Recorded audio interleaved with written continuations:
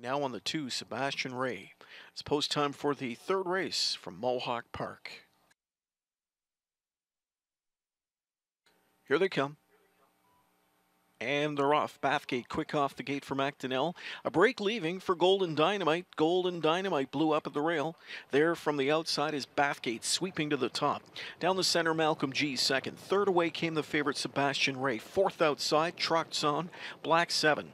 Then inside fifth, Joni Tree Lane. Sixth and parked there to the outside as they go into the opening turn is Beatrix.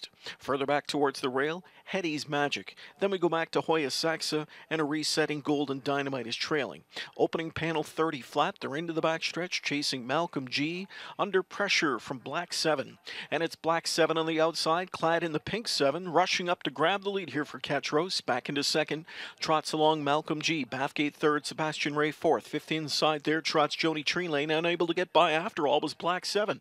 Looking he was going to clear. Then he didn't. And then he made a break. And then he hit the trot. So they're on their way to the midway point. Malcolm G leads the way. Pocket sitter Bathgate. Third inside Sebastian Ray. Black 7 parked outside of that one. Fourth. Fifth inside Joni Tree Lane through a half in a minute and one. Six to the rail. Hetty's Magic. Seventh overland comes Hoya Saxa. Then Beatrix. And getting underway from last is Golden Dynamite. They're on their way to three quarters here.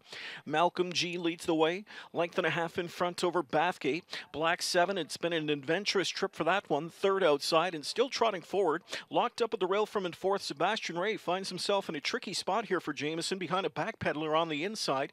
Then Overland, trotting up is Joni Tree Lane, sweeping up from the backfield now. Here are Hoya Saxa and Golden Dynamite. Three quarters in 131, and they're into deep stretch. And it's a three length advantage for Malcolm G. Malcolm G, the one to catch. Sebastian Ray was coming through in a real tight spot, wound up making a break in stride. Here on the far outside comes Golden Dynamite. Golden Dynamite on the far outside is coming on after Malcolm G. Malcolm G on the inside, Golden Dynamite on the outside. Golden Dynamite, despite that early break in stride, gets up to win. It was Golden Dynamite who'll be the unofficial winner over Malcolm G. The pylon skimming Hetty's Magic, tight for fourth in 201 and 3.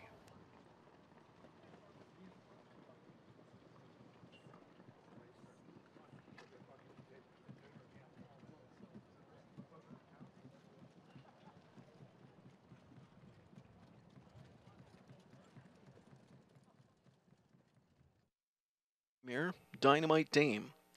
Owned by 209 9551 Ontario Incorporated of Greeley, co owned and trained.